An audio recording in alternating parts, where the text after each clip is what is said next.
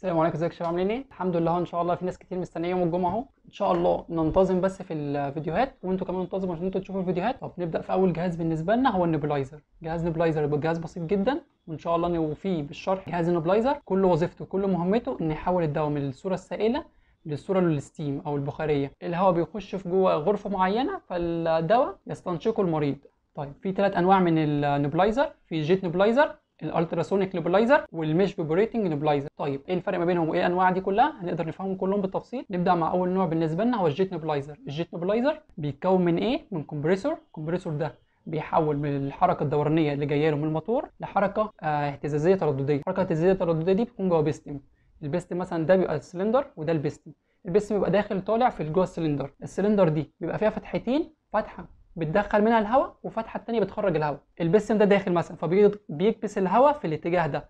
فبيكون فيه فتحة من هنا بتطلع الهواء وهو بضغط أكبر. ومن هنا بتعمل خلخلة وراها فبتدخل الهواء من الناحية دي وبتخرجه من الناحية دي. زي المروحة بالظبط كده بيكون مدخلة الهواء من اتجاه ومخرجاه باتجاه. بس البيستم أو ال compressor بيكون الهواء مضغوط يعني داخل داخل بقوة أكبر. طيب قبل المدخل بتاعنا بنحط حاجة اسمها فلتر. الفلتر ده عشان ينقي الهواء. الهواء اللي داخل لنا ما يبقاش فيه تراب أو كده. والهواء اللي خارج من عندنا بنحط chamber. ماشي؟ ال chamber ده بيعمل إيه بالظبط؟ ال chamber ده عامل زي الكوباية اللي بيبقى فيها مية وانت بتيجي بشفاطة كده بتنفخ فيها فايه؟ الهواء بيختلط بالدواء ماشي؟ أو ال liquid بتاعنا. ال liquid بتاعنا ده بيكون الشركة اللي مصنعاه مصنعاه بحيث إن هو لما يختلط بالهواء يمتزج معاه مش إن هو يبقى زي مثلا كأنك بتنفخ في زيت فالزيت ما بيختلطش بالهواء أساسا مش هيطلع مع الهواء. لا بيكون الدواء ده مصمم إن هو لما يخش فيه الهواء بيطلع معاه ماشي؟ بعد كده آخر مكون عندنا هو ال face mask. ال face mask بيكون فيه منه أنواع كتير للناس الكبيرة والأطفال وفي منه كمان للقطط. هبقى أسيب لكم صورهم كل الحاجات دي. الهواء بيخش في جوه غرفة معينة فالدواء يستنشقه المريض. ايا كان بقى المريض إيه نعمل له ال mask بتاعنا على حسب المريض شكله عامل إزاي عشان يقدر يستنشقه. طيب نوضح بقى ال jet nebulizer بيشتغل إزاي بالتفصيل. آه. أول حاجة بيخش كهرباء 220 فولت ماشي؟ داخلة ال jet nebulizer. ال jet nebulizer فيه موتور. الموتور ده بيبتدي يعمل حركة دورانية. الحركه الدورانيه تخش على compressor. ال compressor ده بيبقى فيه piston و cylinder ماشي؟ البيستم بيبقى طالع نازل جوه السلندر فبيولد ضغط هواء في منطقة والمنطقة الثانية بيولد فيها خلخلة هواء. خلخلة دي معناها إنه إيه؟ بيشفط منها الهواء زي المروحة بيخش الهواء من ناحية والناحية الثانية بيطلع منها فالناحية اللي داخل منها بنحط فلتر ماشي؟ عشان الهواء ما يكونش محمل بالأتربة والناحية اللي بيخرج منها بيكون محطوط فيه ال face mask ال face mask ليه أشكال كتيرة ماشي؟ طبعا كل حاجة بالصور بتاعتها هتلاقوها بتظهر مع الفيديو في المونتاج هظبط الحتة دي. طيب النوع الثاني بالنسبة لنا هو ال ultrasonic nebulizer. ال ultrasonic nebulizer بيستخدم الموجات. ال ultrasonic في إن هي تعمل خلخلة جوه ال liquid بتاعنا اللي هو الدواء يعني يكون فيه هواء بيمر فوق الدواء بتاعنا. فالدواء ده بن بن بنعدي جواه موجات ultrasonic فالموجات دي بتخلي الدواء يختلط بالهواء بيوجد لنا ال steam اللي إحنا كنا عايزينه. ال steam ده يخش بقى على رئة المريض اللي عنده التهاب أو كده ويجيب برده نفس النتيجة الفورية. كل الفكرة إن ال jet nebulizer بيبقى صوته عالي قوي يعني بيكون موتور و compressor عامل كأنك مشغل حاجة اسمها compressor لو تعرف ال compressor بس ما اعتقدش في ناس كتير عارفة ال compressor ال compressor ده اللي بيترش بيه البوية والحاجات زي كده بيكون في compressor ال jet nebulizer بيكون صوته عالي ال ultrasonic nebulizer لا بيبقى صوته اوطى بس بيدي نفس الفكرة. هنا بيستخدم موجات ال ultrasonic هنا بيستخدم ال compressor وال chamber بحيث إن هم إيه يخلوا الدواء يعمل نفس الوضعية يبقى في حالة steam بدل ما هو liquid يبقى حالة steam آخر نوع بالنسبة لنا هو ال mesh vibrating nebulizer ال mesh vibrating nebulizer بيكون حجمه أصغر بكتير قوي من ال jet nebulizer وال ultrasonic nebulizer بيكون شغال بالبطاريات. فممكن مثلا لو طفل صغير أو حاجة عنده مرض ربو أو كده وبيروح مدرسة وبتاع وكده فلازم يكون معاه اللي هو حاجة صغيرة بحيث إن مش لازم يكون متوصل بكهرباء 220 فولت لأ ده اللي هيكون متوصل ببطارية صغيرة وحجمه كمان صغير هتلاقيه في الصورة عندك دلوقتي. حجمه صغير متوصل ببطاريه حاجة شكلها أشيك شوية لو طفل أو كده يكون واخده معاه. بس ال jet nebulizer وال ultrasonic nebulizer بيكونوا عمليين أكتر فلو في مستشفى أو حاجة هتلاقي أكتر حاجة فيها هو ال jet nebulizer لأن ال jet nebulizer منتشر جدا في المستشفيات وهو ده الكلام كله كان عليه يعني وكده. أما ال ultrasonic برضو منتشر بس مش قوي زي jet nebulizer. jet nebulizer بيكون أرخص شوية. الأحدث فيهم وال...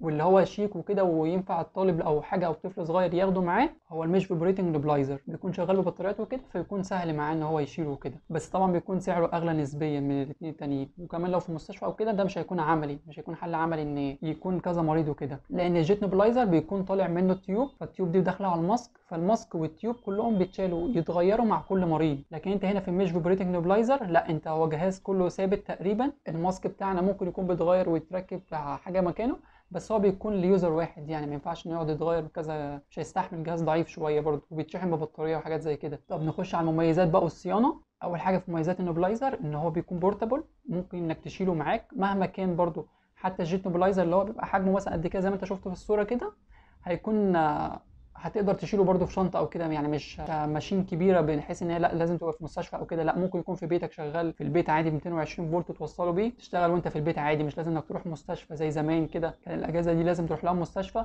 والمريض اللي جات له أزمة أو كده هي على ما يروح المستشفى ممكن يكون أصلا توفى أو كده. والميزة الثانية إنه بيجيب نتيجة فورية فأنت المريض أول ما بنشغل الجهاز ويبدأ إنه يعمل ال steam بتاعه في في خلال دقيقة أو حاجة يخش جوه جسم المريض اللي عنده أزمة أو كده لأن بتبقى أزمة صدرية مثلا الناس اللي عندها ربو ما بتبقاش قادرة تتنفس تماما. فهو لو اتساب كده مثلا مدة ربع ساعة ولا حاجة هتكون توفى خلاص. كل الأنواع بتكون إن هي قابلة للحمل إن أنت ممكن تشيلها معاك وكده. لو مثلا ال jet nebulizer أو كده تلاقي جسمه صغير برضه فأنت ممكن تكون سايبه في البيت أو كده. والمريض اللي عنده حالة خطيرة أو كده ال mesh vibrating nebulizer بيكون معاه في الشنطة. فالوضع كان هيبقى صعب قوي لو موجود مش موجود ال nebulizer يعني هيكون مشكلة. لأن المريض اللي جات له الازمه دي لازم يكون معاه على طول ال nebulizer الميزة الأخيرة إن هو مش مؤلم تماما ما بي يعني المريض بيستنشق هواء كأنه بيتنفس عادي خالص بس بيستنشق هواء محمل بالدواء بيجيب نتيجة فورية. فالمريض أول ما بيستنشق بيكون خلاص يعني الأزمة اللي عنده راحت في ثانيتها. فدي الفكرة إن هم يعملوا النبلايزر أساسا. كان زمان مثلا ياخد دواء أو حاجة بديلة فلسه بقى تاخد مثلا إيه 10 دقايق أو حاجة على ما تجيب نتيجة لكن ده لأ بيجيب نتيجة فورية على طول. طب نخش بقى على الصيانة. أول حاجة في الصيانة أنت أول حاجة بتشوفها هو الجهاز شغال أو مش شغال. لو الجهاز شغال فأنت بتشوف برضو ضغط الهواء اللي خارج منه. هل مناسب ونفس الضغط المعتاد بتاعنا ولا الضغط مختلف؟ لو الضغط مختلف أو أقل من العادي يبقى الفلتر بالنسبة لنا كده محتاج يتغير. يا إما المشكلة الثانية إن ممكن يكون في ال compressor. ماشي؟ طب المشكلة لو في الفلتر هتلاقي الفلتر باين عليه عليه تراب أو كده فأنت بتغير الفلتر ممكن تحط قطن مكانه عادي. ماشي؟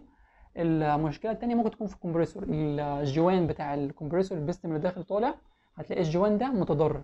فأنت عايز تشيله وتغيره تجيب واحد مكانه جديد. والحاجة برده من الصيانة الدورية إنك بتحط ماده زي الفازلين في جوه ال compressor بحيث إن يخلي فيه ليونة ما بين ال metal وبعضه. وبرده ال face mask لازم يتغير لكل مريض. ما ينفعش إن مريض ي...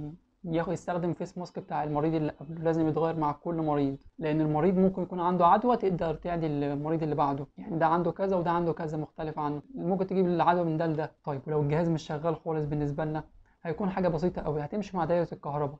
دايرة الكهرباء داخل لك 220 فولت داخلين الموتور. الموتور ما بيلفش يبقى العيب في الموتور. طب ممكن يكون العيب في السلك ذات نفسه بص على السلك ذات نفسه. لو السلك سليم يبقى العيب في الموتور. طب ممكن يكون برضو العيب في ال switch. ال switch بالنسبة لنا برضو بنقدر نختبره اللي هو المفتاح اللي بنقفل منه on off ممكن يكون المشكلة فيه.